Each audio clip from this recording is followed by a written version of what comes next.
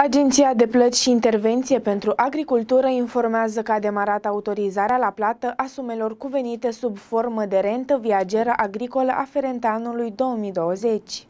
Menționăm faptul că rentierii plătiți astăzi au solicitat plata prin cont bancar, obținând viza carnetelor de rentier în perioada 1 martie-30 aprilie 2021. În perioada următoare vor fi autorizați la plată și ceilalți rentieri care vor solicita viza carnetului până la 30 august 2021.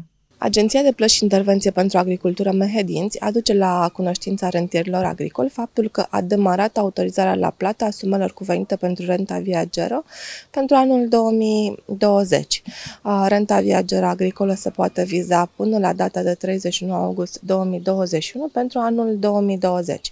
Primii care își vor primi banii în conturi sunt rentierii agricoli ce și-au depus extrase de cont și vor primi sumele cuvenite în conturile bancare depuse la APIA. La nivelul centrului județean Mehedinți au fost vizate până la această dată un număr de 119 carnete de rentă viageră agricolă, sumele ce urmează a fi acordate fiind de 50 de euro pe hectar pentru terenurile arendate și 100 euro pe hectar pentru terenurile vândute.